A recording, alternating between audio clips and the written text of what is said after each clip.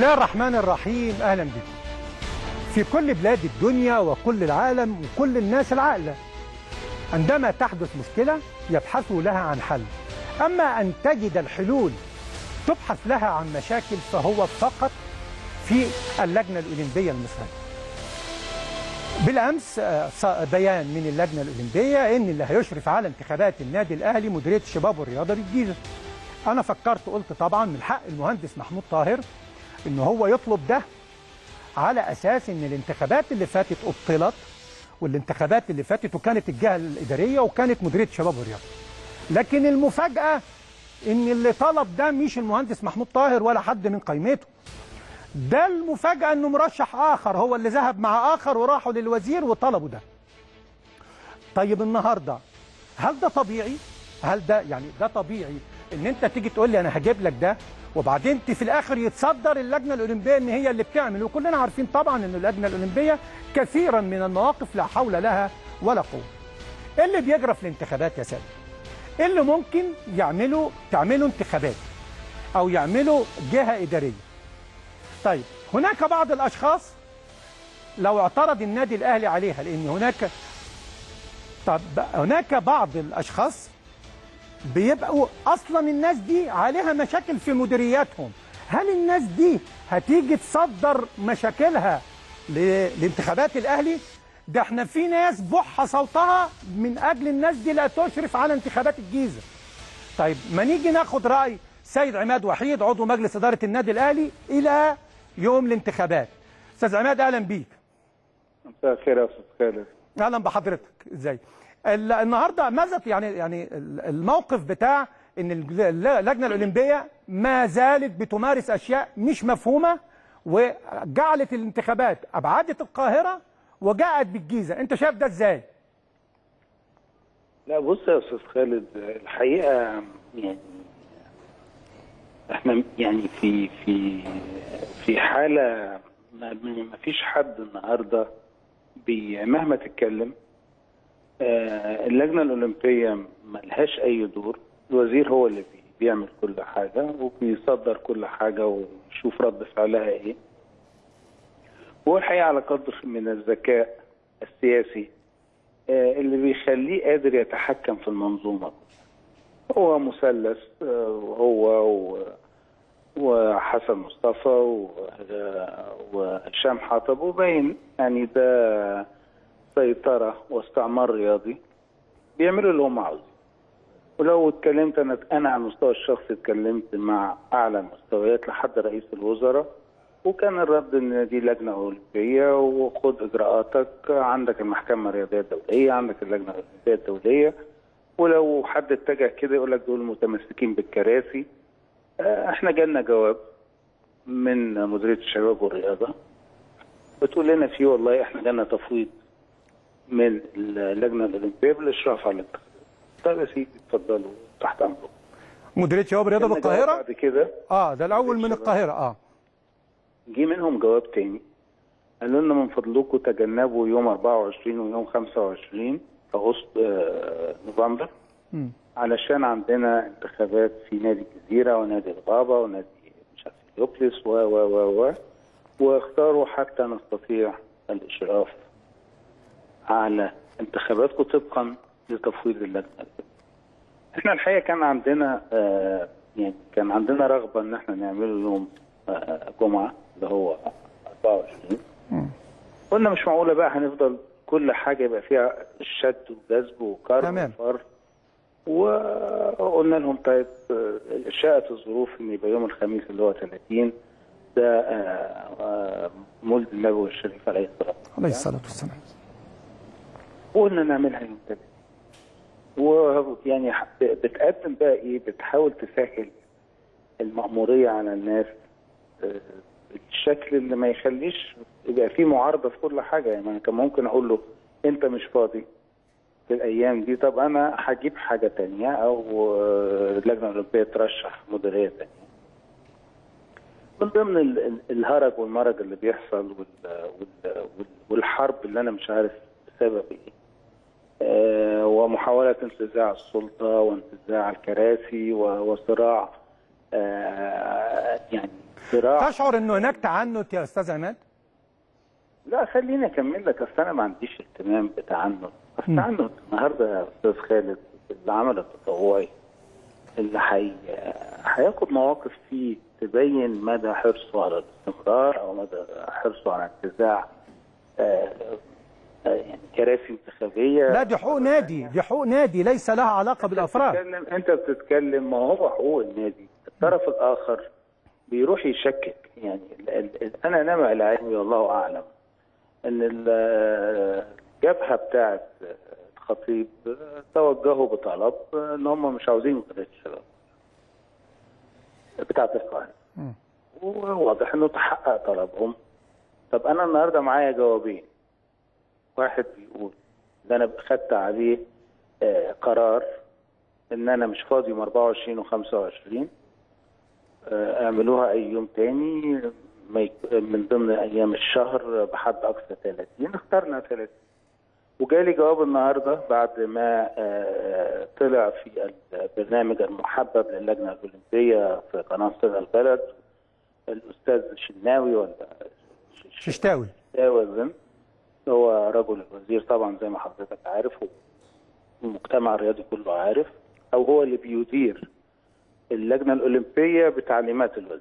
وده أمر غير قابل لا في آه، إساءة للوزير ولا في تعرض. أنا واحد من الناس خلاص يعني آه، رسالتي وقفت لحد كده إن أنا انهى بنفسي إن أنا أعمل في منظومه يعني انت عرفتوها من خلال البرنامج ومن خلال المدير التنفيذي ولم يصل جوابات بعد إلى النادي لا لا في وصل كلم واحد في التليفون من مديرية الشباب والرياضة في الجيزة تليفون.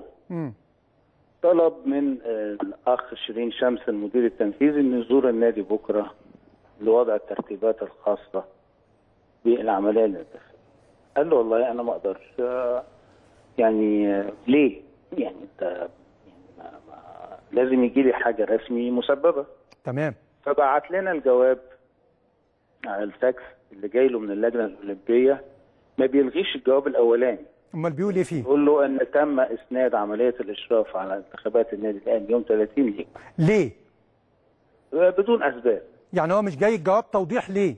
لا لا لا لا, لا هو في جوابين دلوقتي. يعني أنت دلوقتي ب ب ب يعني ما تسحبش حتى آه، الجواب بتاع مديرية الشباب والرياضة. يعني مديرية الشباب والرياضة القاهرة لازم تبعت تقول لي أنا مش جاي في يوم 30 أشرف لأن اللجنة الأولمبية غيرت آه، آه، المنهج بتاعها أو الطرف الثاني بقى عاوز يشكك في أي حاجة. زي الخناقات اللي أنت شايفها على الاستاد كان معمول والشيخ زايد كان معمول تمام. وده اتبيض وده اتدهن طب ده هنقول. دول متن... قائمتين متنافستين أو أفراد ولكن الشيء المحير أنا نفسي مش لاقي له مبرر.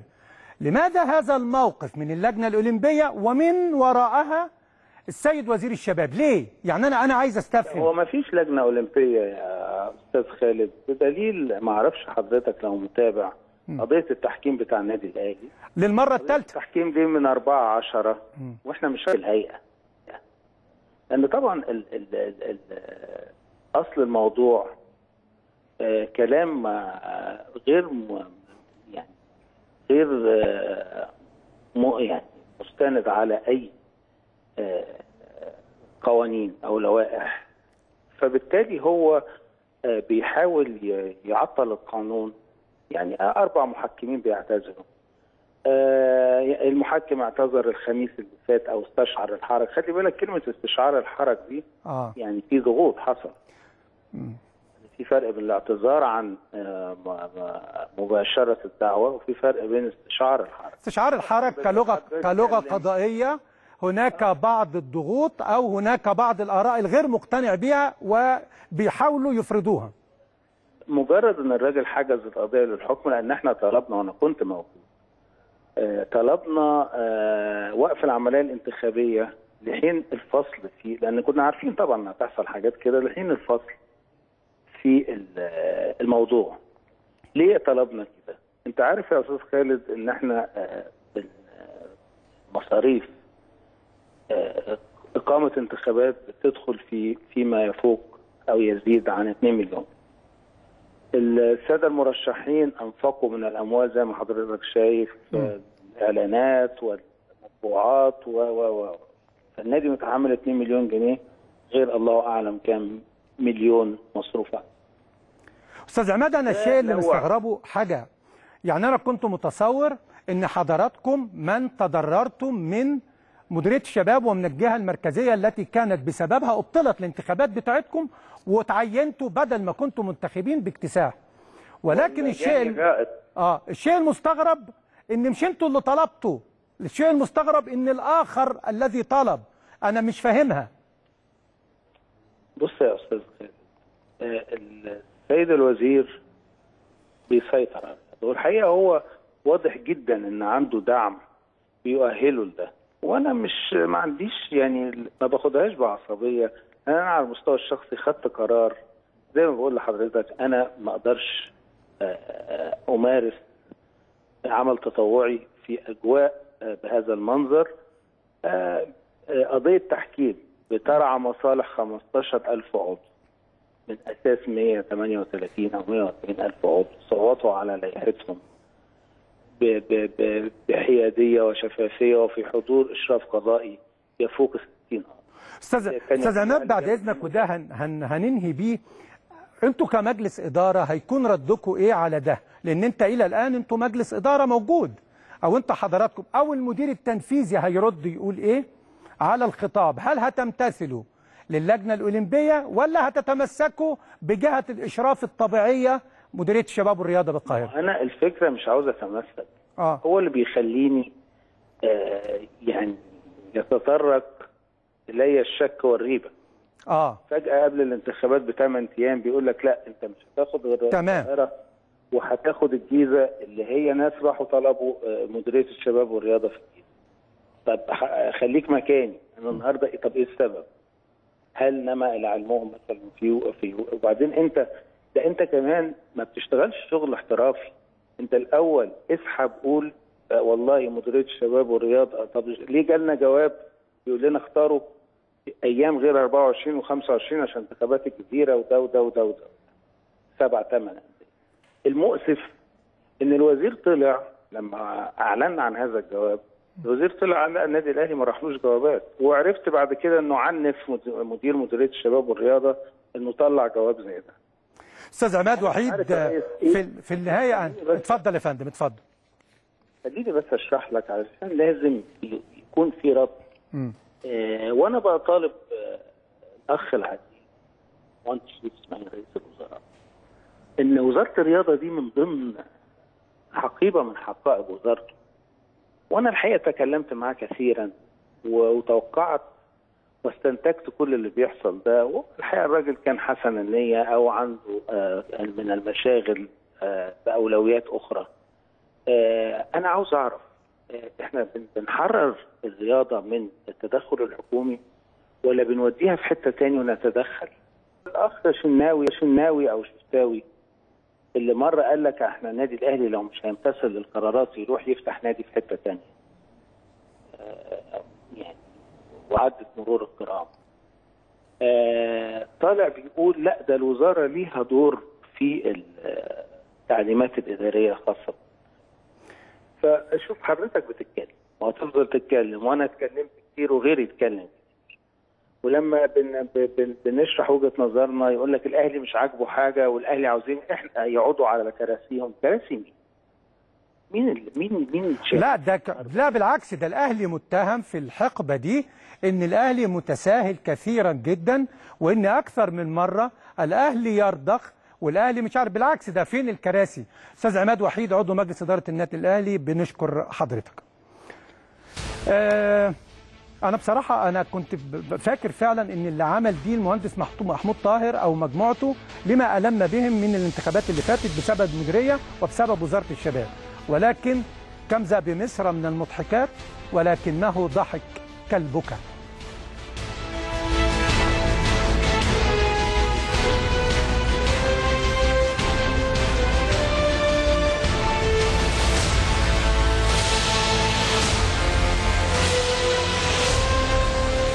بسم الله الرحمن الرحيم والصلاة والسلام على أشرف المرسلين. أهلا بكم مشاهدينا في كل مكان والأهلي ينتخب بصراحة الواحد في الآونة الأخيرة بيندهش كثيرا إزاي الناس المسؤولين في الرياضة المصرية بيخططوا فعلا للنهوض بالرياضة المصرية. فتلاقي كل حاجة غير المنطق هي اللي بتحصل. تلاقي كل حاجة غير اللي هي تدي لك المؤشر الرئيسي أو الأساس الرئيسي اللي تبني عليه عشان تجيب بطولات وتعمل إنجازات هو اللي بيحصل. المفترض إن اللجنة الأولمبية أو وزارة الشباب والرياضة هي منوطة بأنها تنهض بالرياضه المصرية. إزاي؟ بأنها تساعد في نشر اللعبة في أنها تساعد الهيئات والمؤسسات في أنها تطور من نفسها عشان تطلع لك لعيبة عشان تطلع لك أبطال يجيبوا لك في الآخر ويمثلوا مصر منتخبات مصر ويجيبوا لك الميداليات والإنجازات. طيب هل يا ترى ما تفعله اللجنة الأولمبية ووزارة الشباب والرياضة مع النادي الأهلي هو ده اللي هيخلي عماد الرئيسي لأي منتخب مصري يبقى كويس؟ تعالوا كده بصوا منتخب مصر فيه كام لعيب من النادي الأهلي؟ سواء في كرة القدم في الكرة الطائرة في كرة اليد في كل الألعاب الجماعية. طب تعالوا في الفردية هتلاقوا عماد المنتخبات المصرية هو النادي الأهلي. النادي الأهلي قدروا إن هو نادي القرن والنادي الأهلي كويس. أي منتخب مصر في أي لعبة بيبقى كويس. اذا ليه الحاجات اللي بعيدة عن المنطق؟ تعال اخدكم لحاجه تانية بعيدة جدا على هذا الشأن وهو إن أنت تعيش الحلم. الانتخابات بتؤدي إلى الأحلام. وكل حلم واحد أهلاوي إن النادي بتاعه يبقى أفضل وانه يتطور ويبقى عنده تطورات كبيرة جدا وإنشاءات وحاجات تخليك توصل للعالمية. النهارده الصراحة شفت مع حضراتكم الاستاد الجديد للنادي الأهلي والعرض. وابتديت أقول لنفسي ما هو ده اللي ممكن تاخدنا إليه الانتخابات؟ كل مرشح لديه طموحات ولكن جمهور الأهلي عنده طموح واحد هو كيان النادي الأهلي يبقى أفضل. عضو الجمعيه العمومية للنادي الأهلي بيفكر.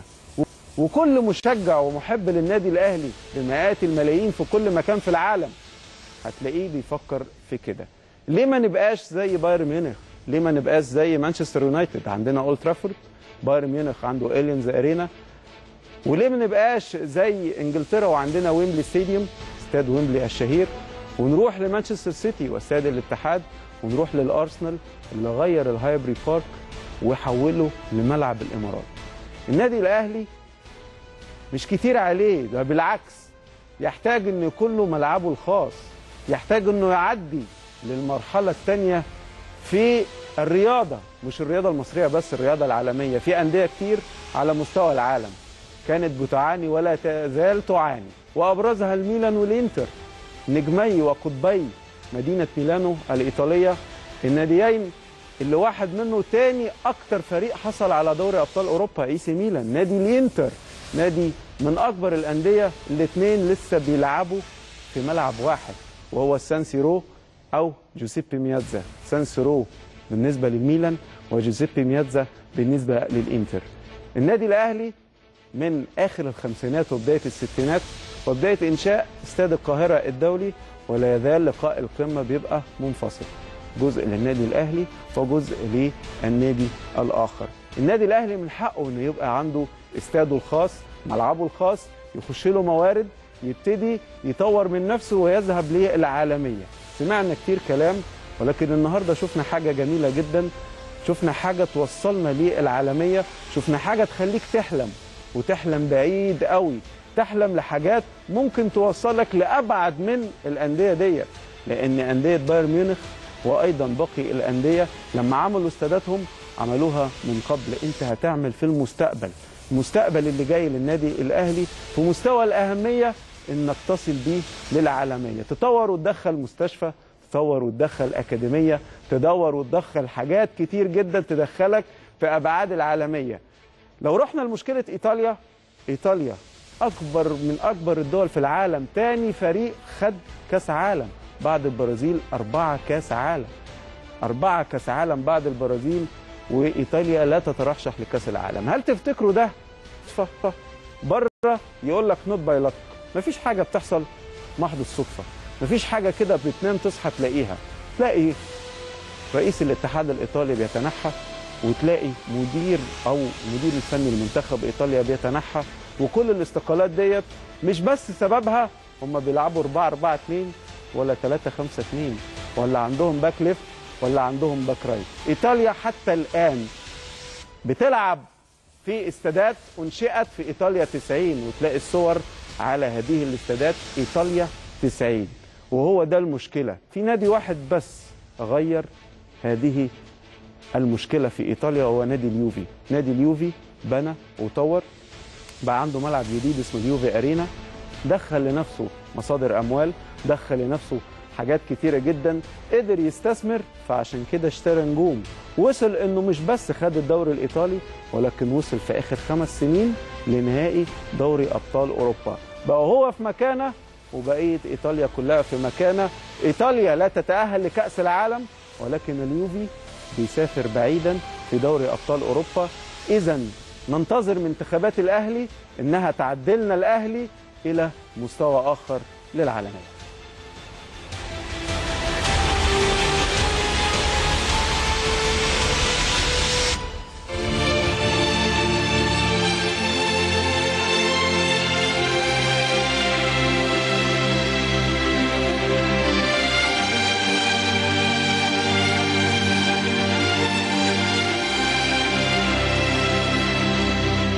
يعد عبد الخالق ثروت باشا الرئيس الثالث في تاريخ النادي الأهلي. أحد أبرز من أثروا في مسيرة القلعة الحمراء وصاحب البصمات التي ساهمت في تطوير النادي على مدار تاريخه الذي تخطى 110 عام. ولد عبد الخالق ثروت باشا عام 1873 في أسرة لها جذور تركية وجده كان أحد أقارب محمد علي باشا. وحصل عبد الخالق على شهادة الحقوق ليصبح أحد أبرز رجال القانون في تاريخ مصر وأصبح مستشارا بمحكمة الاستئناف الأهلية. ثم تولى وزارة الحقانية أو العدل في أربع وزارات مختلفة كما تولى وزارة الداخلية. وقام ثروت بتشكيل الحكومة برئاسته عام 1922 على مدار ثمانية شهور. واحتفظ فيها بوزارتي الداخلية والخارجية ونجح في انتزاع اعترافات من سلطات الاحتلال الإنجليزي بأن مصر دولة مستقلة ذات سيادة كما أعاد البعثات الخارجية للمصريين وتولى الحكومة من جديد في عام 1927 لمدة عام تقريبا.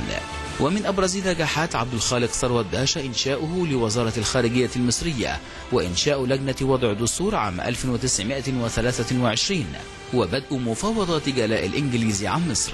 بخلاف أنه أحد رجال السياسة الكبار الذي لعب دورا كبيرا في ثورة عام 1919 مع الزعيم سعد زغلول بجانب أنه كان أحد أبرز رجال المعرفة وارتبط بصداقة طويلة بالدكتور طه حسين. وتم تكريمه بإطلاق اسمه على أحد أكبر شوارع القاهرة تقديرا لدوره الوطني. ولأنه نادي الوطنية. لم أن يرأس عبد الخالق عبد الخالق ثروت باشا النادي في الفترة ما بين عام 1916 إلى عام 1924 وبوصفه أحد أبرز رجال القانون. كانت له بصمة مؤثرة لا تنسى بأنه أول من وضع قانون النادي الأهلي في بداية عام 1916 ويذكر التاريخ له موقفا يجسد مبادئ النادي الأهلي منذ السنوات الأولى.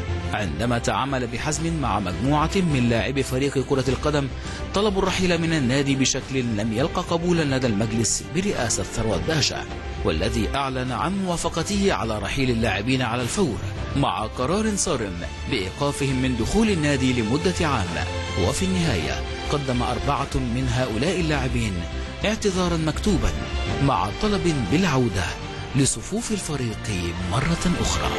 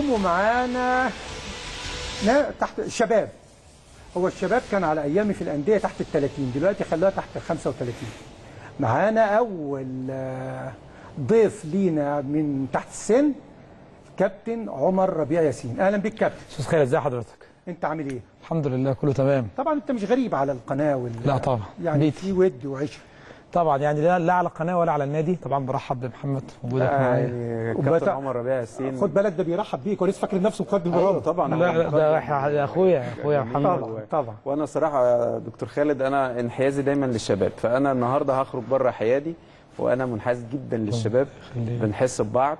أه، بحب الشاب اللي عنده طموح بحب الشاب اللي عنده جراءة. ومش هفضل أتكلم كتير كويس عنه هو ما شاء الله يقدر يتكلم عن نفسه. كويس جدا ولكن أنا بشجعه جدا وبشجع أي مرشح تحت السن إنه عنده جراءة إن ياخد خطوة زي ديت لأن عنده إمكانيات وعنده طموح وعنده حاجات عايز يقدمها لخدمة كيان النادي الأهلي الكبير برحب بيك واحد من نجوم النادي الأهلي السابقين وابن. أحد أكبر نجوم النادي السابقين كابتن ربيع ياسين ربنا بيك يا عمر محمد. كابتن. عمر ربيع ياسين أنت نزلت انتخابات عشان أنت عمر ربيع ياسين ولا نزلت انتخابات عشان انت عمر فقط؟ بص حضرتك مبدئيا الانتخابات آه، في بالي من أربع سنين. آه، من الانتخابات الأخيرة كان عندي 25 سنة. كنت شايف نفسي صغير لسه ما أقدرش إن أنا أخش تجربة قوية زي دي. ففضلت أحضر وبقيت ألف بقيت أتكلم مع الأعضاء بقى يبقى عندي فكرة بقى عندي رؤية. يعني كونت. برنامج ع- طبعا. يعني بص حضرتك الموضوع مش صدفة. بص حضرتك هو مش موضة. وفي نفس الوقت هي مش إيه مش برستيج ومش ومش واجهة اجتماعية ومش حاجات كتير قوي. آه تبقى موجود جوه نادي كبير زي النادي الأهلي لازم تكون واحد من أبنائه واحد من اللي حاسين بالمشاكل اللي موجودة. إحنا بنكمل بعض يا أستاذ خالد. إحنا عمر ما في ناس بتيجي تقول إحنا جايين نحل مشكلة المجلس اللي قبلينا. لا إحنا إحنا أولاد النادي الأهلي دايما بنقفل على بعض بنبقى عارفين إيه اللي بيدور جوه. ف... فبنيجي نكمل بعض. يعني حضرتك دلوقتي في حاجات المجلس الحالي خلصها وأنجزها على أكمل وجه. هنيجي اللي بعديه وات ايفر مين هو أو ايا كان مين اللي هيبقى موجود هيكمل تمام؟ وهو ده اللي إحنا متربيين عليه. فبالتالي حضرتك أنا بسمع وبشوف وبلف حوالين الأعضاء. الحمد لله تربطني صداقة جيدة جدا جدا بكل الناس اللي في النادي بالعمال بالناس اللي موجودين بتوع الأمن بالأعضاء بولاد الأعضاء. فالحمد لله الواحد بكون رؤية كويس. فبدأت إن أنا أكتب برنامجي وبدأت إن أنا أكتب نقاط آه، يعني الحمد لله مميزة. ونزلت بيها يمكن أول مرشح ينزل ببرنامج يوزعه على الأعضاء بنفسه. شفناك بدري. آه ما هو إحنا بدأناها بدري جدا لدرجة إن حضرتك أنا كمان رفضت إن ناس توزع لي ورقي. لا أنا حابب إن أنا ألف على الأعضاء ترابيزة ترابيزة عضو عضو لعبة لعبة وأديهم ورقي بنفسي عشان يحصل آه تبادل كلام. عشان الناس تبقى عارفة تنتخب مين. دلوقتي حضرتك عمر هي الفكرة جات لك عشان انت عايز تخدم النادي عندك طموح ان انت تقدم حاجة للنادي ولا فقط ان أنا عايز اكون متواجد آه، من أجل آه خدمة بعض الاعضاء ولكن انت برضه اتربيت جوه النادي الاهلي وعارف يعني إيه شعار النادي الاهلي. هل آه، الاهلي فوق الجميع؟ ده أبرز حاجة كانت تخليك تنزل؟ بص يا محمد آه إن, إن أنت إن أنت تكون متربي جوه النادي وعندك غيره على النادي الاهلي وأنت شايف إن أنت في إيدك ممكن تغير حاجات للأحسن وللأحسن قوي ده بيديك شعور كده إن أنت تبقى متحمس وإن أنت عايز تنزل والدليل نازل مستقل. يعني أنا لا نازل هنا ولا نازل هنا. دايما أي حد يقول لك إيه بص ولاد النادي الأهلي آه عندهم حماس وفايترز وبيقاتلوا ولحد آخر وقت ما بيستسلموش ابدا. وده اللي أنا آه، يعني خلينا ناخد التجربة. ليه؟ ناس تقول لك ده نازل مستقل ده ما عندوش فرصة. ده أنت نازل تعمل إيه؟ نازل تضيع وقتك نازل تصرف فلوس على الفاضي. أنا الحمد لله متعود جوه النادي الأهلي إن أنا يبقى عندي نفس لحد آخر وقت وأخبط على كل الأبواب وألف على كل الناس بنفسي وأتكلم مع كل الناس كبير وصغير. آه جوه النادي وبره النادي ما عنديش أي مشكلة أتكلم مع كل الناس وأوصل صوتي. أنت عارف إن دايما بيبقى عندي أو أو ال- الرؤساء فقط اللي بيكون لهم حق الندوات.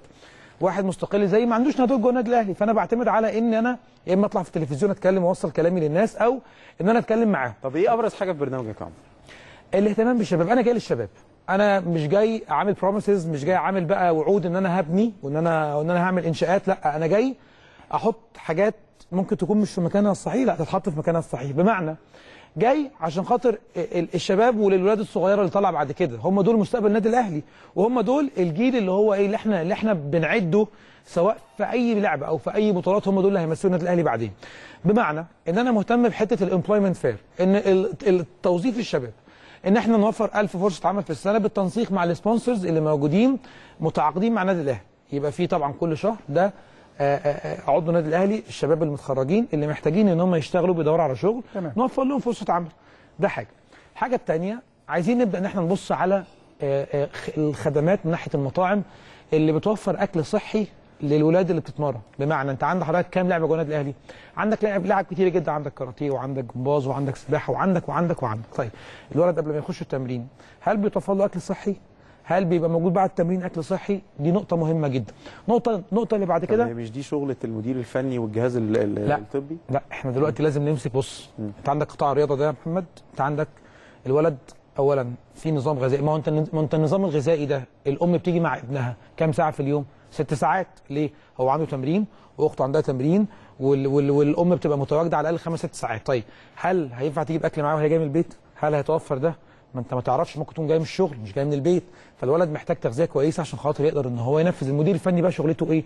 يقول له كل إيه وما تاكلش إيه ويعمل له ويعمل له نظام غذائي. لكن ان إحنا نمشي عليه جوه النادي الأهلي؟ لا هي دي اللي مطلوبة. وبعدين النادي الأهلي زي ما أنت عارف بيكون مكمل بيكون مكمل للأبطال اللي موجودة جوه النادي الأهلي في أي لعبات. عندنا أبطال على أعلى مستوى. فلازم إن إحنا يكون دورنا قوي جدا. بنتكلم على آه طبعا مشروع سكني للشباب النادي الأهلي. قبل ما تتكلم. تمام. آه، أنت الندوات بتستغلها لما بيبقى في تواجد في. مباريات في النادي. عايز أسألك على حاجة. هي ممكن الانتخابات تخلص داخل أعضاء النادي اللي بيرتدوه. يعني ممكن الأعضاء اللي بيتواجدوا في النادي بالاستمرار. هم دول ممكن يخلصوا وممكن ينجحوا ولا قرب بتعمل تعمل إيه؟ بص حضرتك إحنا عندنا أنا أنا أنا أنا دايما منظم جدا في شغلي. أنت شايف إن الأعضاء اللي بيرتادوا النادي الأهلي بفروعه الثلاثه هل العمل على الأعضاء المتواجدين باستمرار يخلص الانتخابات؟ لا طبعا. بص حضرتك النادي الأهلي فيه حوالي 150 ألف عضو عامل تقريبا. 142800 142800 تمام. اللي بيجي منهم كام؟ نقول مثلا 15 20% مثلا يعني نقول 20000 والمسدد هيجي. 86000 تمام. يعني آه، 20000 طيب. حضرتك آه، كل حاجة بتبقى بتبقى ليها نظام عادي. بمعنى أكيد طبعا جوه النادي الأهلي ليهم ليهم ليهم الأولوية. سواء في أهلي مدينة نصر أهلي الجزيرة أهلي الشيخ زايد. أهلي الشيخ زايد بمعنى بتكلم على الأعضاء اللي ساكنين في الشيخ زايد وبيروحوا آه آه، يعني بيروحوا ينتخبوا. آه. آه يعني زي ما حضرتك شايف أنا بلف على الناس كبير وصغير ما بهتمش سواء ليه حق التصويت أو ملوش حق التصويت. حضرتك مش عارف ممكن اللي أنا بكلمه ده يكون سبب إن هو ينشر البرنامج هو بتاعه. دلوقتي بيطلع طالع صورك وأنت في جولاتك هو صورك متغيرة ليه؟ أو أنا ما خدتش بالي. يعني, يعني هو بيومي بيك أنا ما خدتش بالي. هو ما هو بيصور وهو- انت عامل لوك. في بره ولوك جوه اللي إيه الحكاية ممكن مش لابس بدلة؟ وعشان خاطر هنا في التلفزيون. إحنا معانا على التليفون كابتن مصر النادي الأهلي وحبيبي كابتن ربيع ياسين مساء الخير يا كابتن. السلام عليكم ازيك يا كابتن محمد؟ ازيك يا كابتن خالد منورين. انت منور ووحشني. الله يخليك وده وحشت كتير يا حبيبي. ونشوفك إن شاء الله تعالى بإذن الله تعالى قريب يا حبيبي إن شاء الله. منورين كده الشاشة وحاجة جميلة. انت اللي منورنا يا كابتن. النهارده النهارده آه، بيشرفنا عمر كابتن ربيع وصراحة شاب آه، عنده طموح آه، عنده حماس كبير جدا باين في كلامه إن هو يقدمه للنادي الأهلي. رد فعل حضرتك إيه بعد قرار آه، عمر في إن هو يترشح لانتخابات مجلس إدارة النادي الأهلي؟ والله عمر شاب طموح زي ما حضرتك شايف يا كابتن محمد خالد يعني و... وعاوز يخدم الكيان بينتمي لكيان كبير جدا. أي حد يتشرف إنه يقوم بخدمة الاعضاء على أكمل ما يكون. عنده أفكار عنده جديد في وسط الأعضاء عنده قبول كويس جدا. عمر يعني ختوم وقريب جدا وشاب عنده تجربة يعني مهمة جدا. لنادي كبير بينتمي ليه. أي حد يتمنى إنه ينتمي لهذا الكيان الكبير ويتشرف ويقوم بخدمة الأعضاء على أكمل ما يكون. فربنا يا رب سبحانه وتعالى يوفقه كده وهو بيعمل عليه وبيحاول. طب هل انت كنت داعم يا كابتن ربيع ليه ان هو ينزل ياخد التجربة ديت؟ والله بدل هو عنده الجرأة وعنده الإمكانيات الإمكانيات اللي ممكن بأمر الله تعالى يخدم بيها الأعضاء وي- ويشرف بيها الكيان أهلا وسهلا. كابتن ربيع كابتن ربيع اتفضل. فعل عمر ما لم يفعله أباه. يعني لم يفكر الكابتن ربيع ياسين في أي وقت من الأوقات وكان هو ملء السمع والأبصار على مدار تاريخ الكرة المصرية. لماذا فكر عمر في لم ما لم يفكر فيه أبا عمر؟ هو عمر شاب وعنده المستقبل والمستقبل للشباب صراحة. فعمر ممكن يكون كادر من الكوادر المحترمة الإدارية الناجحة اللي تقدر تخدم هذا الكيان. هو عنده أفكار عنده إيجابيات عنده آه، سن كويس إن شاء الله بإذن الله تعالى. ممكن إن شاء الله النادي الأهلي يعتمد على ثم عليه وهو مجموعة الشباب اللي داخلة تخدم ودي حاجة كويسة جدا. فدلوقتي المستقبل للشباب أنا من وجهة نظري الشباب هم الأولى هم اللي عندهم هم اللي عندهم الجديد. ف... ف... فعنده فرصة طيبة ان بس عمر معاه منافسة شرسة جدا تحت السن. مظبوط كلامك منافسة شرسة جدا وبصراحة هم محيرين. كلهم أفضل من بعض. كلهم شباب محترم كلهم تمام. شباب واعي كلهم شباب مثقف كلهم شباب بينتمي للنادي الأهلي وكان كبير جدا كلهم عاوزين يخدموا الأعضاء. وهي مباراة آه، شريفة ومحترمة ما بين شباب طموح جدا جدا عاوز يخدم الكيان ويتمنى إن ينتمي الكيان كبير جدا. ولا ربنا يوفقه يا أستاذ خالد كابتن هنقول له مبروك كل ربنا مش هيوفق له لك إن شاء الله ليك فرصة ثانية وثالثه كفاية إن إحنا نبقى إيه إخوة بشرف بأمانة باحترام بأدب بسلوكيات بأخلاقيات بالكيان اللي تربينا فيه. وانت بتنتمي ليه؟ والمهم طبعا أهم حاجة عند الجميع هو الكيان. الاهلي فوق الجميع. كابتن مصر النادي الأهلي كابتن ربيع ياسين بشكر حضرتك. شكرا جزيلا. عمر كان ليك تجارب احترافية احترفت في بلجيكا واحترفت في فنلندا أعتقد. واكيد كل هذه الأمور يعني اللي أنا شفته ان انت بتقول لا لازم نطبق هذا الامر في الناحية الغذائية وكده ابتديت تطبق الحاجات اللي انت اتعلمتها بره. بص يمكن أنا طب يعني مطبقه مع نفسي. يمكن انت عارف موضوع الاكل ده مهم جدا في الرياضه موضوع النوم موضوع ال... آه، يبقى في تنسيق. دايما محمد لما يكون في نظام لأي حاجة بتنجح. بص لما يكون عندك فكرة وتصدقها فانت تبدأ تتكلم بيها مع الناس تتكلم بيها بحب فالناس فالناس تصدقك. ده اللي أنا بدأت أتكلم فيه في برنامجي إن أنا بتكلم مع الناس والناس مصدق يعني يعني الناس عندها إيمان قوي جدا بيا. وبعدين الحمد لله إن أي مكان بخشه في النادي الأهلي ربنا بيساعدني ويوقف معايا حد من جوه اللعبة دي إن هو يبدأ يساعدني وينشر برنامجي. يعني يمكن أنا لوحدي الموضوع صعب جدا. أنت اعتمدت على دعايتك إن أنت تتواصل بنفسك. طبعا. وبعدين موضوع بس أستاذ خالد لما بيقول لي آه أنت داخل عشان عمر ربيع سين ولا داخل عشان خاطر يا ده أنت قلبك ربيع؟ لا؟ لازم لازم أفتكر لازم ارد عشان النقطة دي مهمة جدا. بص حضرتك الأعضاء واعيين جدا. الأعضاء الجمعيه العموميه مش هيخش يختار 12 اسم وهو عارف هو مش يعني هو مش عارف هو بيختار مين. لا بالعكس. هو داخل وعارف هو هيختار مين كويس قوي فبالتالي هو مش هيختار حد غير لما يكون يخدم النادي الأهلي. آه، يختار حد يسمع مشاكله يختار حد إنه يكون واحد منه يختار واحد لما يتكلموا في يوم من الأيام أو أو أو يقصدوا في مشكلة يحس ان هو واحد منه ويحس ان هو يحل له مشكلته. انت دايما إحنا إحنا إحنا متعودين ان ان ان أكتر الناس اللي بتبقى موجودة وبت- وبتسمع مع الناس هي أكتر ناس متواجدة مع الناس بشكل دائم وبتكون من ولاد النادي الأهلي. النادي الأهلي ليه فضل علينا كبير جدا. الواحد بيحاول إن هو يرد ولو جزء من الجميل اللي النادي الأهلي عمل اسم يمكن يمكن ما كملتش في الكورة بشكل كبير لكن أنا حابب إن أنا أخش في الحتة الإدارية. حابب إن أنا آه، العلم اللي أنا استفدته سواء باحترافي بره أو سواء في دراستي في شهادتي اللي أنا حصلت عليها مع الجانب الرياضي يقدر أقدر إن أنا حاليا؟ عم بص حضرتك يمكن أنا آه، شغال في شركة آه، في إحدى إحدى شركات البترول تمام. في العلاقات العامة تمام. وفي نفس الوقت آه، يعني عندي بيزنس خاص بيا وفي يعني في حتة التحليل والكرة العالمية وال- والحاجات اللي أنا بحبها الحاجات اللي أنا تأثرت بيها من بره وفي نفس الوقت حابب إن أنا أطبقها كنت. موجود في قناة الأهلي كنت. موجود في بعض القنوات الفضائية وفي الراديو فالحمد لله عندي كنا بنستمتع بيك يعني لا، ده أنا اللي بستمتع بصراحة. بيك والله. بأمانة يعني بجد حبيبي. حاجة من الحاجات اللي إحنا بنحبها نماذج من النماذج المشرفة ووالده ربنا اتعلمنا. منه منه كلنا كتير ربنا يخليك محمد يمكن عندي أنا عندي 29 سنة الحمد لله ف ده أنت لسه عندك ده لسه يعني لا ما أنا عايز أقول لحضرتك على حاجة بس رؤيتي أنا عايز أخش الدورة دي إن شاء الله إن شاء الله إن شاء الله أنا ظني في ربنا كبير قوي ان أنا هبقى موجود ان شاء الله ان شاء الله ان شاء الله. ربنا يكرمني بعمل اللي عليا وباخد بالاسباب. بس اهم حاجة ال- ال- السيرة الطيبة آه، الاخلاق. ان إحنا ان إحنا كلنا اخوات واصحاب وحبايب ما فيش حاجة تفرقنا. كده كده اللي هيبقى موجود هيخدم النادي الاهلي ما حدش هيبقى يعني ما حدش هيبقى مش موجود وهيبخل على النادي الاهلي بحاجة. ودي رسالتي بقى للناس. ان إحنا إزاي في الأجواء السلبية اللي موجودة دي الناس اللي هتنجح هتشتغل. لازم نهاية الناس اللي موجودة سلبية؟ نعم الأجواء اللي موجودة. حضرتك ال ال الإعلام ال ال ال ال الجماهير هنا والجمهور هنا لازم نبقى عارفين إن إحنا اللي جايين دول ممكن ما يبقاش من قائمة واحدة. فإزاي الناس اللي تنجح تشتغل في جو صحي؟ وفي الأول وفي الآخر إحنا هنخدم النادي الأهلي. ما إحنا حضرتك لو لو في فريق هيخدم النادي الأهلي وفريق تاني مش هيخدم النادي الأهلي أكيد نتكلم لكن في الآخر إحنا كلنا أولاد مين؟ إحنا كلنا نازلين تحت مين؟ تحت اسم النادي الأهلي. ما فيش حاجة اسمها قوائم. إحنا نازلين. تحت قائمة النادي. الأهلي. فبالتالي حضرتك يعني لازم لازم لازم نساند بعض لازم إن إحنا نبقى والدليل على كلامي إن أي حد بيشوف بعض من القائمتين بنسلم على بعض بنقف نتكلم مع بعض مفيش المشاحنات اللي موجودة. فإحنا زي ما قلت نخدم النادي الأهلي وإن شاء الله نعرف اميز. ما يميز برنامجك اللي أنت لم تجده في البرامج الأخرى لكافة المرشحين عشان دي تبقى تريد مارك لعمر ربيع ياسين.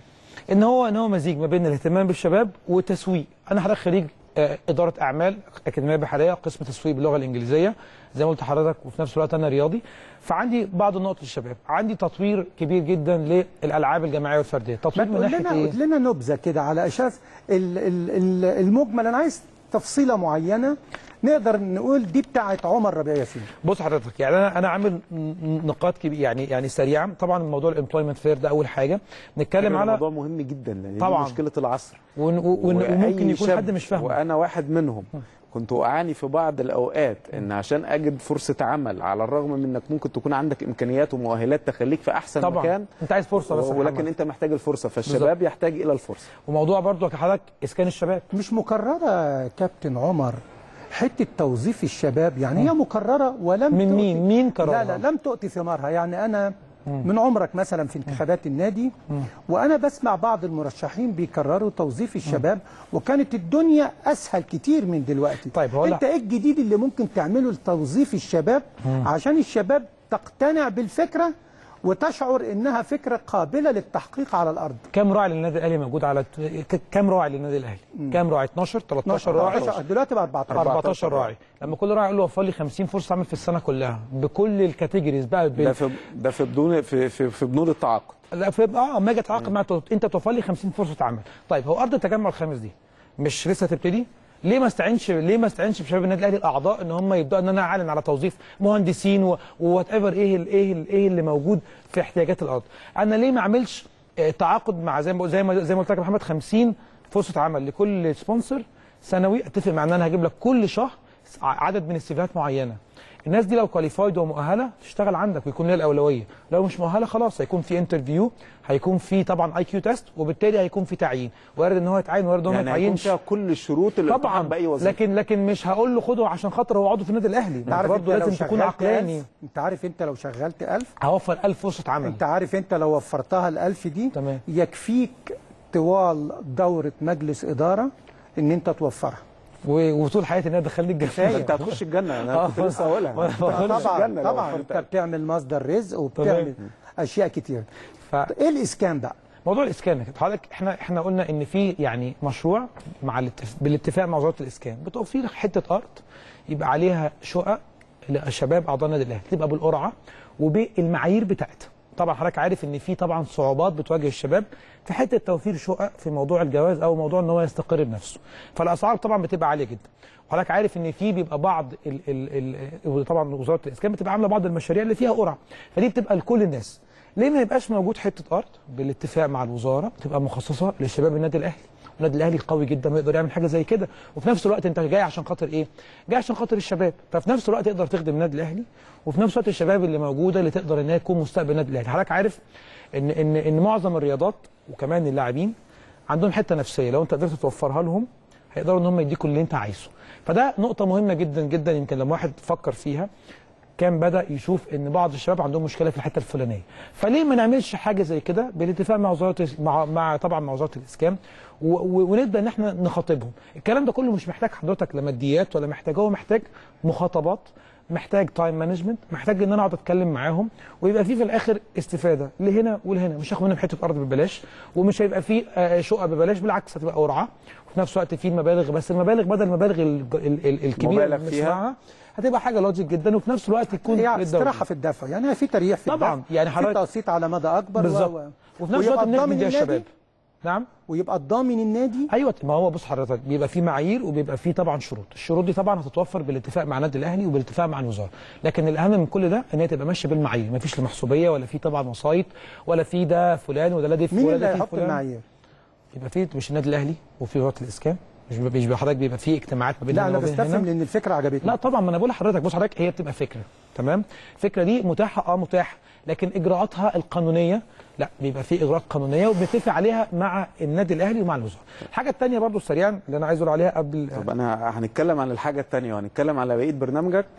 كله ولكن بعد هذا الفاصل عندنا تقرير عن آراء الجمعية العمومية. اوعوا تروحوا بعيد لأن النادي الأهلي حديد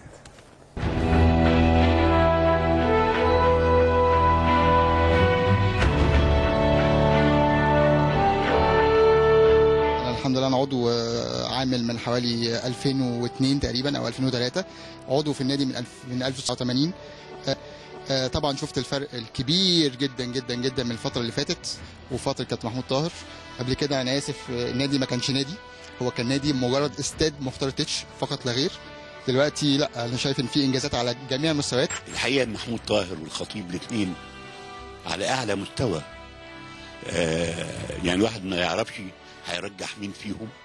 محمود الخطيب باسمه وسمعته ولعبه و ومحمود طاهر بإنشاءات اللي عملها في النادي. يعني الاثنين مفخرة لينا وربنا يوفق الاثنين بإذن الله. أنا اولا عضو النادي الأهلي من آه، 63 وعضو عامل من سنة 80 آه، إحنا شفنا تطورات جميلة غير مسبوقة في عهد أي حد من الإدارات السابقة وفي فترة زمنية قصيرة هي فترة ثلاث سنوات من 2014 لغاية 2017 بنية تحتية منشآت آه، سواء في الشيخ زايد أو في هنا في الجزيرة أو في مدينة نصر حاجات آه، كويسة جدا ويعني مش عارف أقول إيه التطور يعني وفي يعني مجلس الإدارة وعد وأوفى. أتمنى من ال... من أي مجلس إدارة جاي إن شاء الله والتوفيق للاثنين طبعا بإذن الله بقدر الإمكان.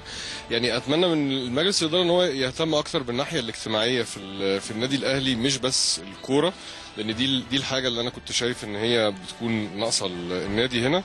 آه، في نقطة برضو شايفها ضعيفة شوية بصراحة في النادي اللي هي الأكاديمية بتاعة النادي الأهلي للكرة المستوى بتاعها أقل من المفروض يكون عليه من ناحية التجهيز. بتكلم مثلا على فرع مدينة نصر لأن ده الفرع اللي ابني موجود فيه. آه، التجهيز بتاعها الكراسي ال- الشكل العام وكده يعني بصراحة ال- المستوى بتاعها لا يليق بالمستوى بتاع النادي الأهلي. فدي من ضمن الحاجات ال- المهمة. أنا هرشح بالعقل وليست بالعاطفة لأن العاطفة لها دور. أما العقل فأنت بتشوف إيه اللي بيحصل في النادي بالظبط. وفي الأندية بتاعتك سواء شيخ زايد أو في مدينة نصر أو في الجزيرة طبعا اللي هي الحاجة الرئيسية. وال- ال- والتطورات اللي حصلت فيها وبالسرعة الرهيبة اللي حصلت دي في فترة وجيزة جدا. فدي طبعا تخلي الواحد يفكر بعقله قبل العاطفة. أنا محتاج لو مش على نفس الريتم اللي موجود ده حاليا اللي هو عملية تحديث النادي وعملية الألعاب والبطولات اللي بناخدها يبقى إحنا مش عايزين أكتر من كده. الراجل اللي هو محمود المهندس محمود طاهر حقيقة باذل مجهود جبار بالنسبة لتطوير النادي من حيث كل حاجة. إحنا كأولياء أمور للاولاد ذوي الاحتياجات الخاصة ما بنفكرش إن إحنا نيجي النادي غير علشانهم. وكل المطلوب من الجهاز آه، الجديد. آه، الدعم لولاد ذوي الاحتياجات الخاصة ويعني الوقوف جنبهم ودعمهم. بس بشكل آه، يعني أهم من إنه يكون مادي إن هو يكون آه، معنوي يعني.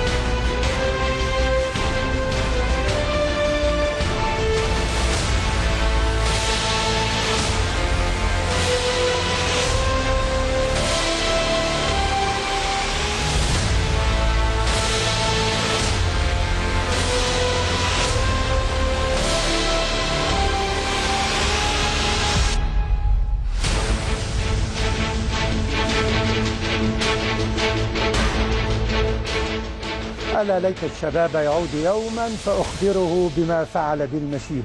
عندما تجلس مع الشباب تجلس مع الغد مع بكرة مع الأيام اللي جاية اللي يا رب بيهم تبقى أحلى من الأيام اللي إحنا فيها والأيام اللي فاتت. كابتن عمر ربيع ياسين ماذا عندك في جعبتك للشباب؟ طبعا أنا هقول نقط سريعة جدا للبرنامج عشان نوضح بس للسادة المشاهدين. نتكلم على توفير فرص مجانية للكورسات والتنمية البشرية.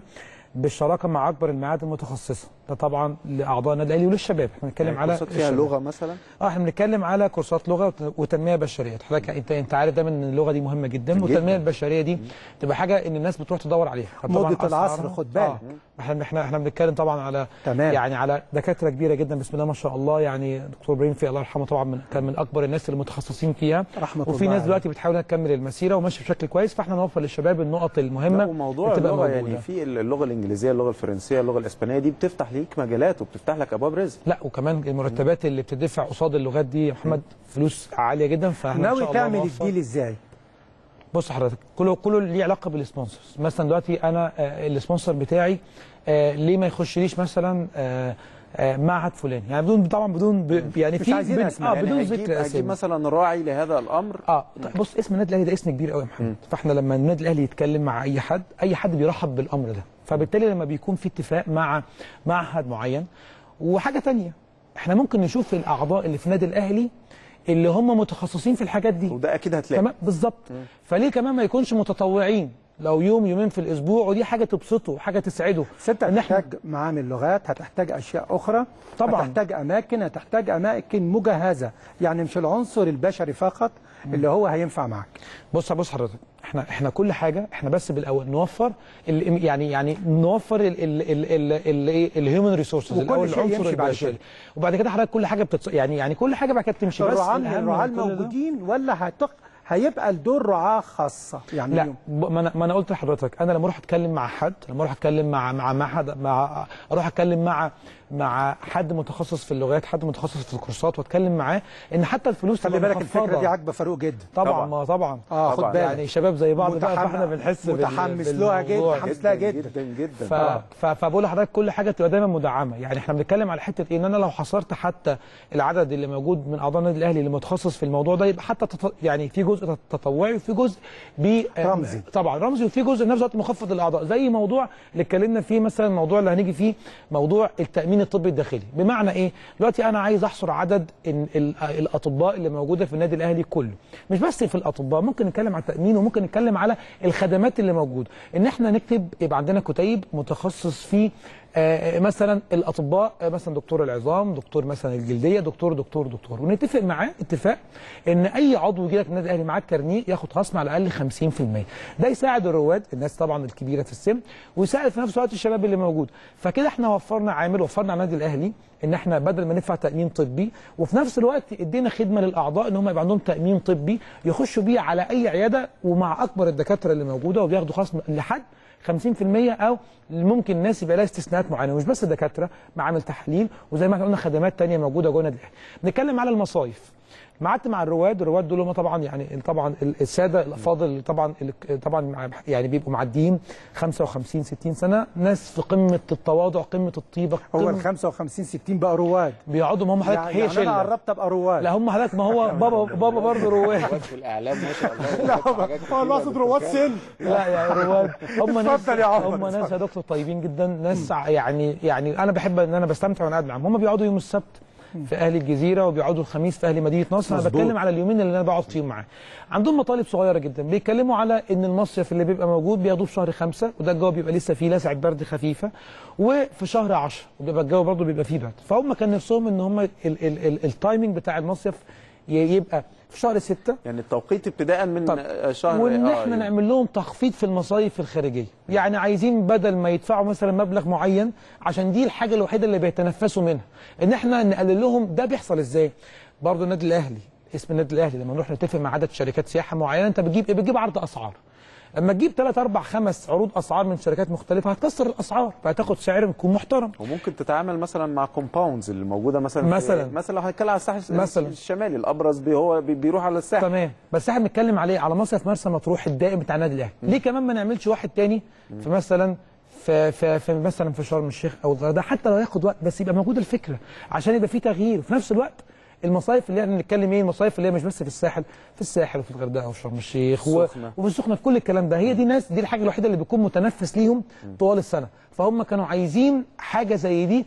طبعا الأسعار طبعا أنت عارف إن الأسعار دلوقتي في طبعا في ارتفاع فإحنا نوفر لهم حاجة زي كده. بنتكلم على الحج والعمرة بمعنى إن إحنا يكون دي اتفاق ما بيننا وما بين سفارة السعودية. حضرتك عارف إن السفير السعودي متواجد بصفة دائمة في النادي الأهلي. فليه ما يكونش في اتفاق ما بيننا وما بينه؟ يبقى في عدد تأشيرات معينة في السنة للأعضاء سواء حج أو سواء عمرة بشكل قانوني. تعمل لها جمعية. بالظبط. بص عليك إيه وقرعة ومفيش بقى اللي هو بقى أنا آه، فلان بقى فشوف لي بقى تأشيرة عشان خاطر عشان خاطر نفسي أعمل عمرة والكلام ده كله. بنتكلم حضرتك على الأهلي brand. يعني إيه الأهلي brand؟ إن زي ما في راعي حالي دلوقتي بيطبع لوجو النادي الأهلي على ال- ال- المنتجات الخاصة بيه. نجبر كل كل ال- المنتجات أو كل ال- ال- الرعاة بتوع النادي الأهلي إن هم يطبعوا لوجو النادي الأهلي على المنتجات بتاعهم. ده بيعمل إيه؟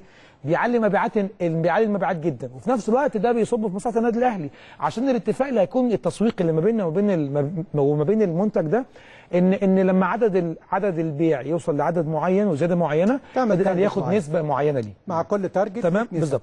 بنتكلم على متحف النادي الأهلي. ليه ما يبقاش عندنا متحف زي ريال مدريد وبرشلونة؟ حتى لو فكرة موجودة أكون موجود و- وان إحنا ندعم الفكرة دي. يعني حضرتك عارف طبعا النادي الأهلي طبعا اعاد صياغه طبعا دولاب البطولات. تمام. عايزين يبقى إيه عندنا متحف. الموضوع ده طبعا واجهه واجهه واجهه حضارية محترمة جدا وفي نفس الوقت أنت عندك كل حاجة دلوقتي منظمة وفي نفس الوقت آه الناس بقى عندها فرصة تتصور مع كل حاجة يعني الدرع أنت كنت لوحده. في بلجيكا وكنت في يعني شفت حاجات ب- ب- المتاحف بنفس الشكل. بص يا محمد أنت عندك لما بتخش الملعب أنت عندك ممكن تيجي زيارة ل... طبعا. ل- للنادي اللي أنت بتحبه تاخد tour في الاستاد. ال tour دي including إيه؟ including tour جوه الاستاد. وفي نفس الوقت including انت بتشوف المتحف بتشوف البطولات بتشوف التيشيرت بتشوف أقدم تيشيرت لل- للنادي الأهلي بتشوف أول جزمة لعب بيها مثلا كابتن فلان بتشوف أول مثلا فيديوهات شغالة أول ماتش النادي الأهلي لعبه في, في إحنا بنتكلم على إيه؟ على material ولازم بنتكلم. ندور على جون عبد الرحمن فوزي أول جون طبعاً. لمصر في كأس العالم. لا لا طبعا عشان خاطر كابتن مجدي لا إن شاء الله إحنا طيب هل هل شفت صور لاستاد الأهلي ال- الجديد؟ طبعا طبعا. لا يعني يعني أكيد أكيد اتفرجنا وأكيد شفنا يمكن ده حلم كل عضو في النادي الأهلي إن إحنا يبقى عندنا استاد. وفي نفس الوقت آه، حاجة مشرفة إن أنت إن أنت لما تبقى أول نادي في مصر يبقى عندك ملعبك باسمك بالديزاين اللي أنت عايزه. آه، بص إحنا قلنا ال- ال- المجالس الإدارة بتكمل بعض. فمجلس الإدارة اللي هيجي هيبقى عليه مسؤولية إن هو يكمل إن شاء الله ال ال ال ال الحدث الضخم أو الإنشاء الضخم اللي هيكون موجود. صحيح. ف فإحنا كلنا بنمثل النادي الأهلي. آه، عمر قبل ما نطلع فاصل. تمام. فكر بعد الفاصل هتقول لنا ما هي أبرز ملامح البرنامج وعايزك تلخصها لي عملي. يعني انت ماشي باسلوب جاي جميل. في ناس بتديني الأمور كلها احلام. لكن انت ما شاء الله بتقول يعني و و ومع عمل يعني مثلا انت ما قلتش مستشفيات. لا ما قلتش إيه؟ مش عارف ليه. انت بتتكلم كلام احلامك وسنك دي احلام عملية.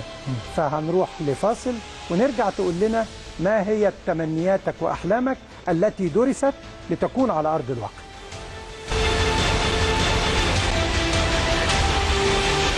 القصيرة دي المبنى الاجتماعي والبوابة الرئيسية والطريق الداخلي والجناين والمناطق الخضراء الخاصة بمناطق جلوس الأعضاء ولعب الأطفال. وبنينا أربع منافذ لخدمة الأعضاء في وسط كل ده. غير جراج النادي ومجمع حمامات السباحة اللي فيه جيم وسبا وملاعب كرة القدم والسلة واليد والطايرة والخماسي والتنس وكمان المسجد الخشبي وصالة الكاراتيه. معا فعلا لا قولا. صوتك للأهلي صوتك لقيم الطاهر. واحدة من أصعب البطولات بطولة الدوري 95 96 ثلاثة حريفة جدا تقال في وسط الملعب. كابتن رضا ووليد صلاح كابتن مجدي طلبة.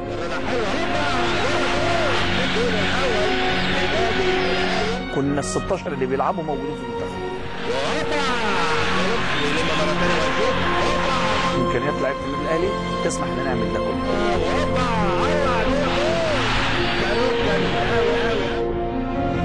ماتشات زمان.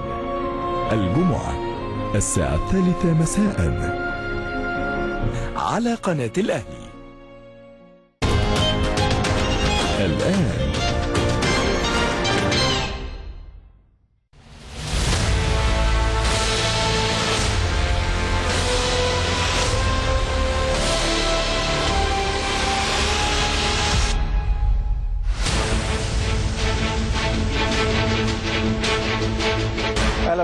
جديد مشاهدينا ونكمل كلامنا مع عمر ربيع ياسين المرشح على عضويه مجلس اداره النادي الأهلي تحت السن. عمر كنا بنتكلم على برنامج الانت- الانتخابي وابرزت لنا العديد من النقاط المهمة كنت عايز تستكمل في نقطة مهمة جدا كنت بتكلمني فيها في الفاصل وهي اعتقد إن دي من النقاط اللي هتبقى يعني على كريمة برنامجك الانتخابي. بص إحنا بنتكلم على آه، خدمة الأعضاء يعني دلوقتي حضرتك لما يكون عضو عنده مشكلة ليه دايما الت- التواصل يكون بينه وبين عضو مجلس الإدارة ده بيعمل إيه؟ ده بيعمل حساسية شوية وده بيعمل إيه؟ بطء لل لأن هو يحل مشكلته. فإحنا دلوقتي قررنا أو أنا يعني قررت كده ان أنا جات لي فكرة. ليه ما نعملش حاجة اسمها زي ال customer service اللي موجودة في شركات الاتصالات؟ خدمة عملاء. آه خدمة عملاء لأعضاء النادي الأهلي. بمعنى يكون في في كل فرع النادي الأهلي خدمة عملاء. ناس دول يكون ليهم ال authority أو السلطة إن هم يكونوا أصحاب قرارات في المشاكل البسيطة إن هم يستقبلوا المشكلة من العضو. يبدأ إن هو يحلها وياخد فيها قرار تعمل ويبقى- مركزية إدارة يعني. بالظبط. ده حضرتك بيعمل إيه؟ بيوفر وقت وبيوفر مجهود. لكن لما كل عضو يحصل عنده مشكلة يروح لعضو مجلس إدارة عضو مجلس إدارة ياخد المشكلة ويعرضها على مجلس الإدارة ده كل ده بياخد وقت. فالعضو نفسه يتضايق ويبدأ إن أنت المشكلة بدل ما تكون صغيرة تكبر تكبر تكبر. فده بيحصل عضو يعني العضو بياخدها على إيه؟ بياخد يعني يعني بياخد الموضوع بحساسية شوية ويبدأ إن هو ياخدها إيه؟ العضو مجلس الإدارة مش عايز يحل لي. ده بيتكبر عليا ده بيتنك عليا. فليه ما نعملش حاجة زي كده؟ اولا بتمنع الاحتكاك ما بين الأعضاء وبين آه، طبعا أعضاء مجلس الإدارة وعضو النادي ويخلي ال- ويخلي فيه ود ويخلي فيه ترابط ويخلي فيه يعني علاقة جيدة. حضرتك عارف إن إيه؟ إن إن إحنا بيبقى عندنا مشكلة دايما. آه لأ ده ممكن ما يحلليش لأ ده ممكن يحل لي فإحنا نعمل حاجة بسيطة جدا ونرضي جميع الأطراف. إن يبقى في خدمة أعضاء تحل مشاكل الأعضاء الصغيرة اللي تقدر إنها تحلها وفي نفس الوقت يكون في رقم ساخن. أي حد عنده مشكلة يتكلم عليها ويعرض مشكلته. دول مسؤولين برضو عن إن هم يتابعوا معاك المشكلة من أولها لحد ما تتحل. ما أنت أنت دايما بتتكلم وممكن عضو يقول لك إيه؟ لأ أنا المشكلة دي ما أعرفش عنها أي حاجة ما حدش تابعني فيها. لأ هم يتابعوك ودي بتبقى طبعا إيه؟ طبعا بتبقى خدمة على أعلى مستوى وفي نفس الوقت بيبقى خد بتبقى خدمة مدفوع لها الأجر من النادي الأهلي وناس بيبقوا متخصصين في آه، طبعا بالتريننجز طبعا وطبعا بيبقى الموضوع بروفيشنال قوي. فبنعرف إن إحنا نوصل في الآخر للجنة أو خدمة أعضاء بمستوى عالي تليق بعضو النادي الأهلي. كابتن عمر هل تجد في الانتخابات انت بالتأكيد حضرت ثلاث انتخابات قبل كده متذكرهم. طبعا. أنا ليه حسب نسبة وتناسب العمر؟ هل تمام. الانتخابات دي ليها سمة مميزة ليها عن الانتخابات السابقة؟ طبعا طبعا. إيه هي؟ إن محدش عارف مين هيكسب. يعني محدش عارف مين هيكسب ودي حاجة يمكن حاجة غريبة جدا. وفي نفس الوقت حاجة حاجة مفيدة. يمكن لو إحنا حضرتك فكرنا فيها هنلاقي إن إن أكتر ناس محظوظة أو أكتر ناس إن بجد إحنا فخورين بالناس المرشحين جوه انتخابات النادي الأهلي. طب عمر سريعا كلمة لاعضاء جمعيه مهمه للنادي الأهلي. اختار صح. آه مفيش حاجة اسمها حد يجبرك على حاجة معينة. إن شاء الله إن شاء الله طول ما أنت آه آه واعي طول ما أنت عارف مين يقدر يخدم الكيان طول ما أنت عارف مين اللي يقدر إن شاء الله أربع سنين قدام يخلي النادي الأهلي في المقدمة. انتخبه أنت واعي أنت أنت أكبر من أي حد يقول لك أي حاجة. آه لازم كله يجي. ما ينفعش ان إحنا كل جمعيه عموميه يبقى عدد بسيط جدا من الناس. آه افتكر ان النادي ده بتاعك مش بتاع غيرك. لما يكون في أي تقصير انت اللي هتكون مسؤول انت اللي هتنزل تنتخب.